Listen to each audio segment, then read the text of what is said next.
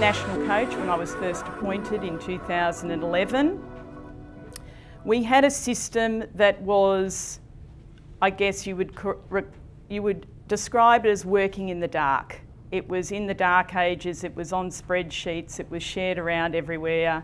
Some people were using different systems, different fitness testing protocols, all of those things that needed to be basically systematised. So that's what we did. Okay. And I think Marcus alluded to it before. We kind of had to realise the why, the why of needing a system that was going to bring our big decentralised system together. And Marcus, I have got an idea for you, wherever you are.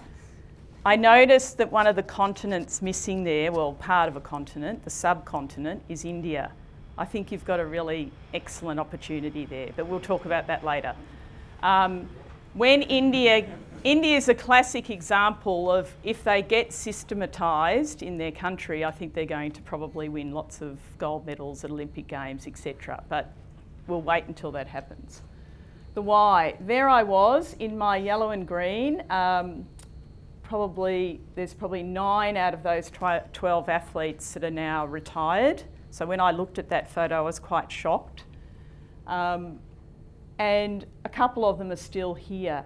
But the monitoring that's gone on with those athletes since that time has really helped us to, to get a great picture and have great detail and depth of knowledge of those particular athletes. And we're still investigating the ways that we can use that data to its best advantage. So the why, working in the dark. I actually didn't even know what some of the training programs were of some of the athletes in their clubs at the time. And at that time, we were competing in the ANZ Championship, uh, which was a New Zealand and Australian competition against each other. Now, I notice there's a few New Zealanders in the room, okay? Now, please don't take all our secrets back there, okay? Um, you are our greatest rivals, as you know, and there's a netball New Zealand person over there. But I'm, I'm one for thinking around we bring everybody in together to learn, and people will innovate and do their thing how they see it best to fit in their environment. So I always believe that sharing information is better because I learn more too about my opponents that way. So I'm going to check you guys out as well while the, the conference going, and I'll have my people doing that too. The why, the why was and is that we had to change the Diamonds mindset at the time into a more high performance mindset. No doubt in my mind about that. We were underperforming in many of the parameters of high performance sport.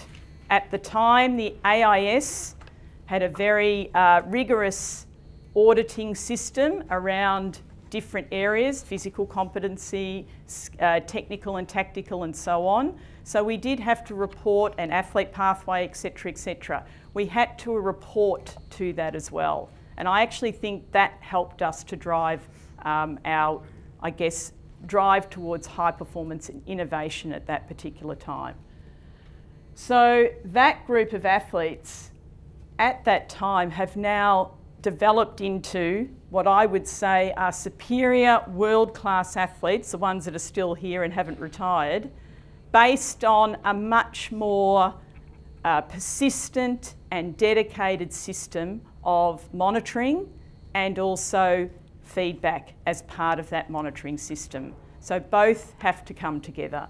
So the behaviour change really was convincing the athletes first up that they actually needed to embrace this new system of high performance. That is, I needed to know as the, as the head coach of a national program that Laura Geitz would be completing her work, completing her training, logging her wellness, doing the things that she needed to do in Brisbane when no one was watching her.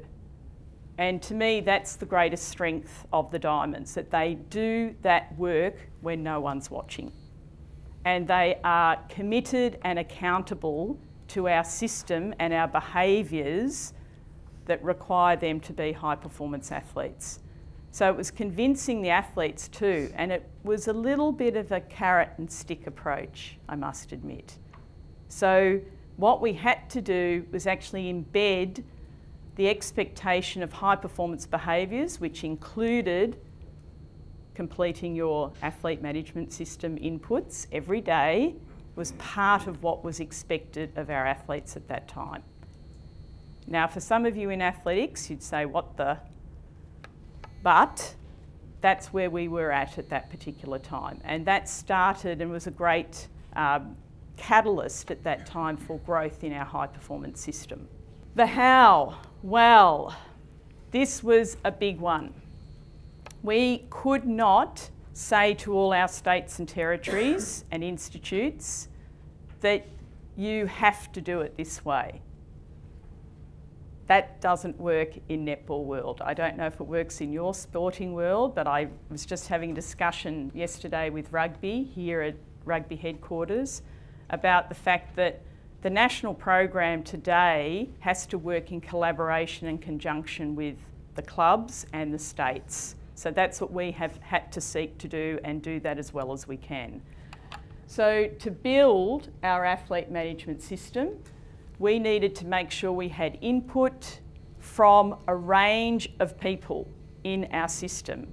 And we had to have champions in those systems as well. And we had to bring them along to the journey and helped them to see the benefits of this system for netball. And I think we did that very well.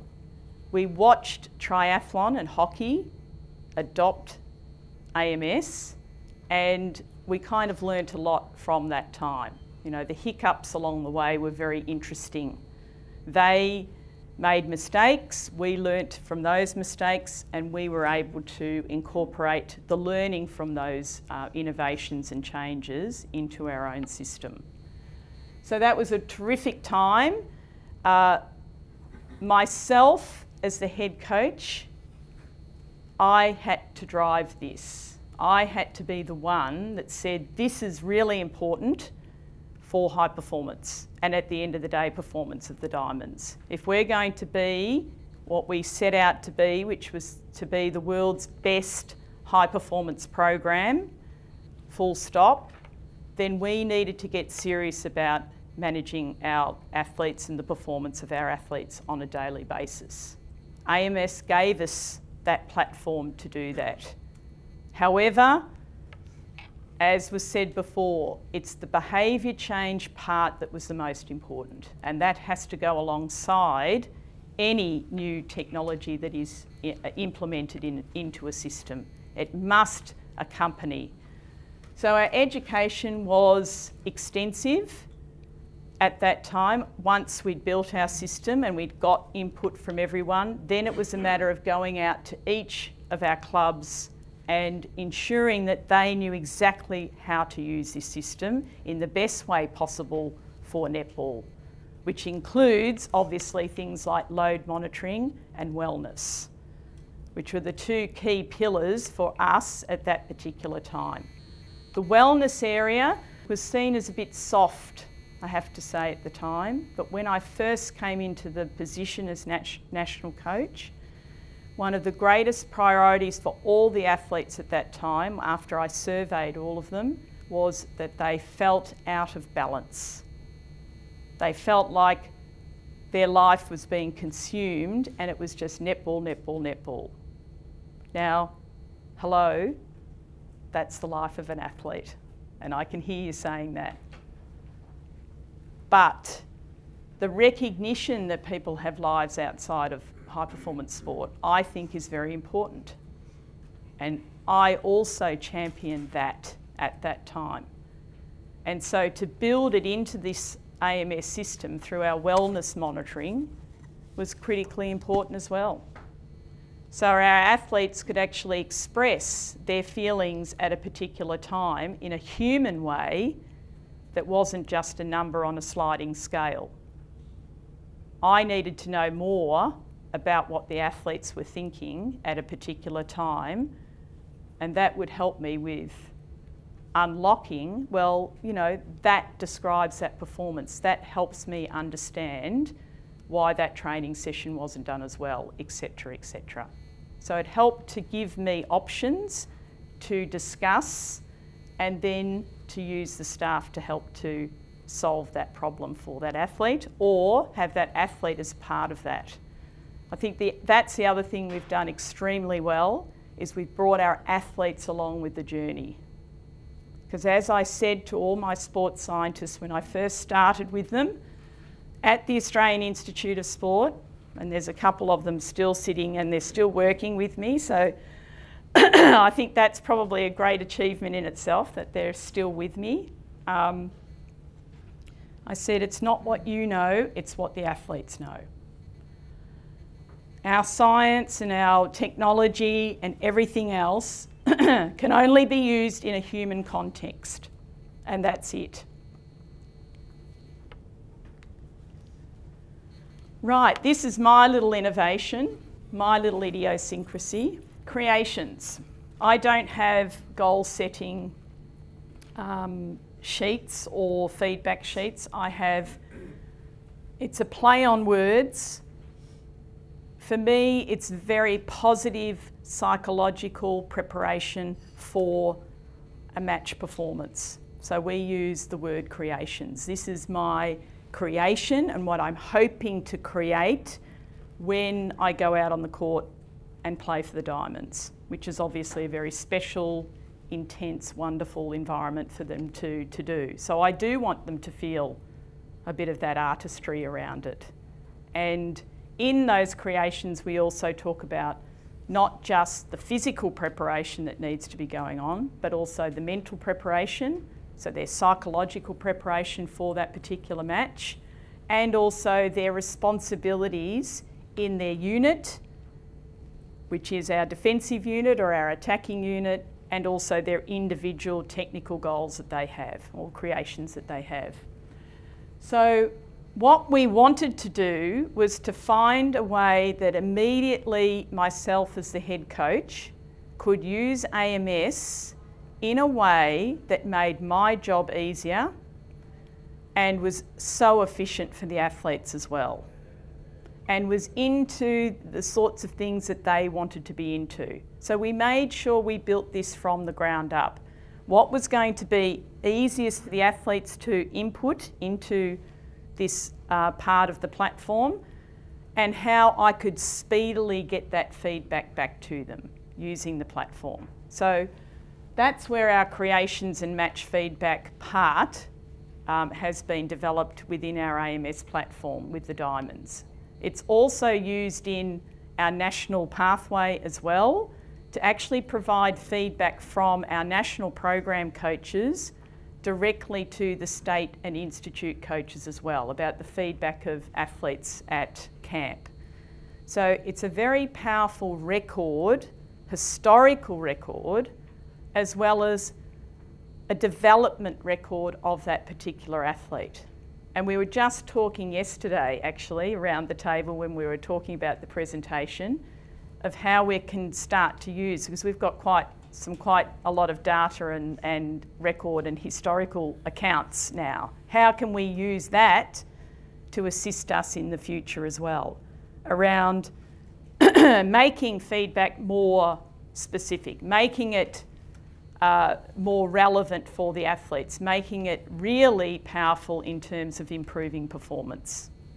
As you know, the athletes of today, and particularly our female athletes, love getting feedback. But this was a very easy way for us to do it in an efficient way. When I'm on tour, I used the very first time I used it was in 2015 at the World Cup. So, yes, don't particularly like change as a coach. I like to keep things pretty routine, but I knew that I had to be brave and stand up and make sure that this system worked. So I, again, used the carrot and stick approach. Uh, diamonds, we're going to have a go at this. And we practiced it in our trial games in Newcastle before we moved into Sydney. And then we also asked them, how did that work? Did you like getting the emails on the day? So there's all sorts of things and information that we discuss together. Always with the premise that we're on about improving performance, about being the world's best high performance program. So that front of mind idea has to be there when you are in a process of behaviour change. And of course, what I'm describing here is the fact that this platform works in both our international context, but also in our Suncorp Super Netball as well. Interestingly, you'll see three international athletes there. So some of those international athletes are also receiving the benefits of our AMS system through this type of feedback that they might not ever have had before in their own environments. Uh, that's a part of what I think is our responsibility to growing netball globally as well. It does mean it's harder for Australia at the end of the day, particularly when the English are doing so well in our competition and then transferring that to performances in Commonwealth Games. But netball needed to lift its game internationally, otherwise, we won't get taken seriously as a sport. I can tell you, Rick Charlesworth tells me that all the time. Okay, netball, you're not global yet. And, you know, he's probably right there. It's not that we're not world class, but we haven't quite grown our game as much as we should have. So the Suncorp Super Netball coaches have, have got access to that um, creations feedback as well that they can use. That's all locked and secured, um, but our national pathway system is not locked so that we can share that information from the national program to the clubs. For those of you that know netball, you may know that we've just announced our Australian Diamonds squad. We use the athlete management system to manage our performance ratings for all of the Suncorp Super Netball matches. In that system also, we have the ability to bring in the statistical um, data from uh, another mob. Am I allowed to mention them, Mitch? Yes, Champion Data. So we will also use that data to help us to pull together the information that's needed for the selectors. So this is another area that we've been able to tailor make the athlete management system to what we require for the national program. It's actually revolutionised us.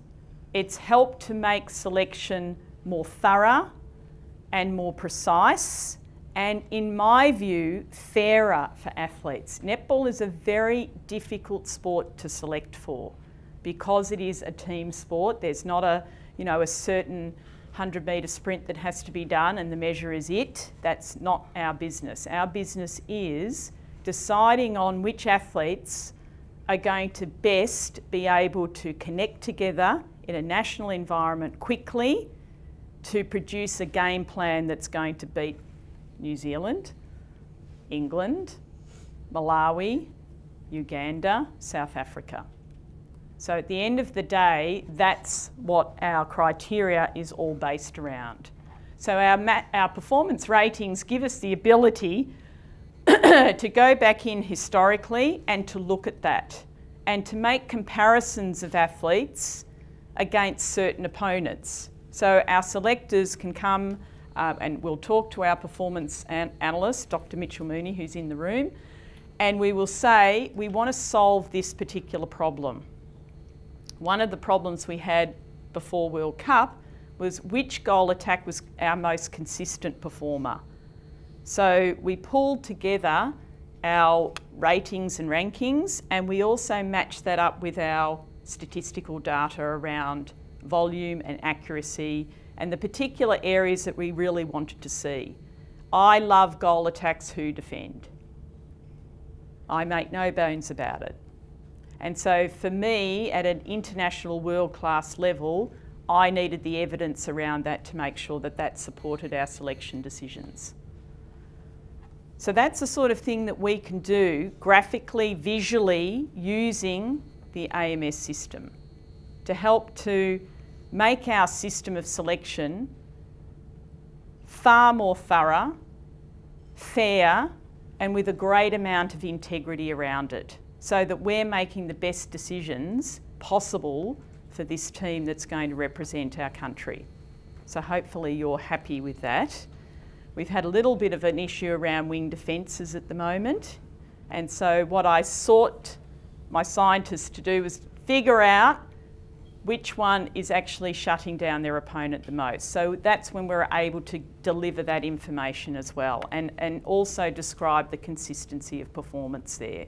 Well, here it is the power of AMS, particularly prior to our benchmark events. This was a classic uh, issue and complexity that we have as a national program. We have teams that are competing all the way up to finals and, and, being in a grand final, and I'm just going through this planning phase at the moment right now with our clubs. Some of them will be finishing in two weeks' time. They have already got squad members selected into the Australian squad, and they then have to continue their training in preparation for our uh, quad series in September. So we usually have a six week period where we like to uh, prepare our athletes for that particular event. And as I'm always reminding our um, Suncorp Super head Suncorp Super Netball head coaches is that we play tournament play. We don't play once a week. Our tournaments are back to back. So the preparation for that is different and has to be more specific for those events to be able to have our athletes having the resilience to back up day in, day out. And our World Cup next year presents us with an even more critical uh, challenge in that we've got five matches in a row. We haven't had that, I think, for probably 20 years. We've always had a day off here and there. So, how we manage that is going to be critically important to us. So, as you can see, athlete A, not in finals, we've got our chronic load uh, going through there very nicely in our um, areas of, of where we wanted it. And we had a really nice build from July to August for those athletes to be ready for World Cup. Conversely, the in the finals athletes, uh, as you can see, there's that drop off in chronic load which indicates to us a normal historical thing that happens with teams in domestic years.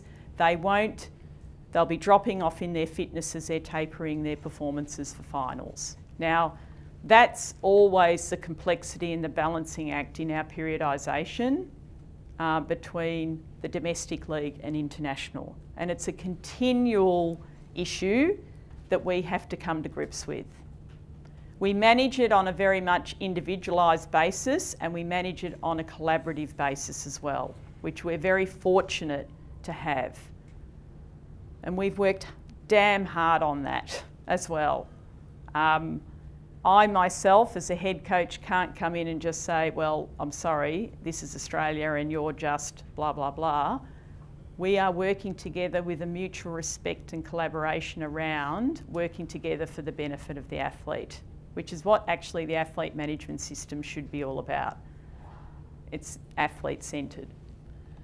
So as you can see, the chronic load dropped, so we had to build them very, very quickly after that final. And it was a big challenge because we had basically fried athletes after that grand final. I don't know if many of you are netball fans, but it was back in 2015, and the Sydney, uh, New South Wales Swifts played the Queensland Firebirds, and it was, excuse me, a shit fight. It was an intense, over the top match, took so much emotion out of all the athletes as well, which is another area that I don't think we measure well enough yet, is the ability for athletes to emotionally recover after competition. Marcus, behavioural scientist, we'll talk later. Um, they're the sorts of things that I think are going to be in the future the critical things how we can assess the mind and that recovery emotionally and cognitively to be able to then go on to that next competition. This is a start for us, there's no doubt about it. This gives us the indication. It gives us a historical record and an ability for us to be more accurate and discuss as a team, a performance team, those athletes and what's going to be best for them. And there was a great amount of individualisation in programming put in to those athletes in the finals, okay, according to their training age and so forth. I have had another couple of little stories from this about load and about AMS. One of them was prior to Com Games, when I nearly hit the roof, when I'll call my athlete A, uh, was played in every single quarter after we'd had a national camp. And it was explained to me eventually when I got the chance to speak to the coach that the numbers said she could do it. They're the numbers. As we know, they're subjective measures, yes, and they give us an indication. But I would never want to say that the coach's eye and the experience of the coach shouldn't be across this level of decision making. This forms part of the data that assists me to make more accurate and thorough decisions in the best interests of the athletes and what's going to be best for them and also then for the team and the program. So those are the decisions that I'm making all the time. This at least gives me the confidence to know, yes, we can do this. Yes, they're going to be sore in that first two weeks, but that's okay. The other story was uh, we had one of our athletes with a migraine last week, and it might seem simple, but knowing that actually helped the selectors to understand the performance on the weekend in a particular match because this is a two way street. We get this information from um, our diamonds through the Suncorp Super Netball season, but our domestic teams also get the information too when we're on tour. So they know what their athletes are doing when we're away. And believe me, I know because I get told that athlete's not doing enough, they need to do more. So there's that continuous collaboration and two way communication. It's really important and to me underpins high performance. We've used it in presentations to board. This was presented to our board last year. This was our holistic data usage. Don't want to, don't want to say the word big data because we haven't done enough big data work yet in netball. We've got a lot of data, but we need to do some work. But these are our indicators and our you know, amber, red and green lights 12 months ago. So clearly it showed us with all that data in AMS that we needed to do something about the illness factor.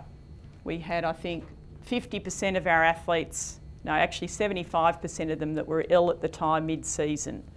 So that was really critically important for us to make decisions around what we were going to do 12 months hence because that particular piece of information would help us to know the trend of what may happen next year when we've got World Cup in the middle of a Suncorp Super Netball season. So those sorts of things are really important for us for our planning ahead.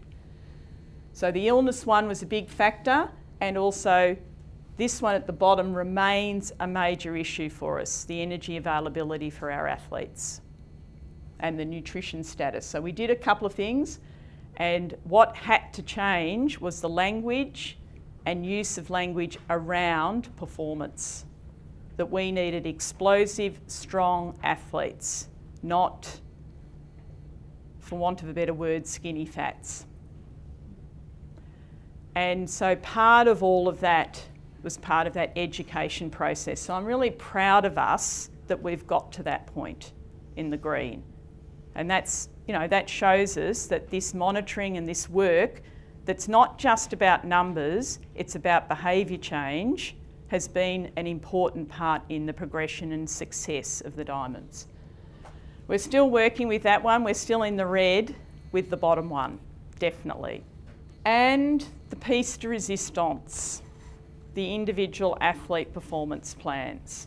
This is actually where I did do a little bit of innovating, Marcus, when back in the day, Mary Toomey, who was my wellbeing manager at the time, a fantastic high performance scientist, um, and supported me with this journey, very much so.